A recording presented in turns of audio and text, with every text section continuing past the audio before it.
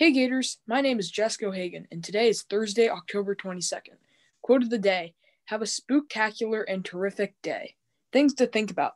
The percentages of individuals who have experienced cyberbullying at some point in their lives have nearly doubled 18 to 34% from 2007 to 2016.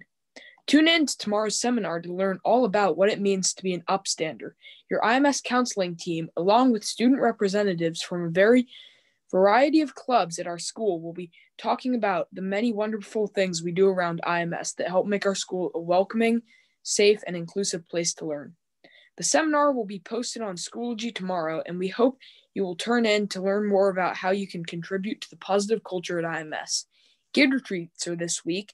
The IMS PTA will host a drive-through Gator treat and ASB card pickup for seventh graders today and eighth graders tomorrow from 3 to 5 p.m. Joke of the day: Why don't eggs tell jokes? They'd crack each other up.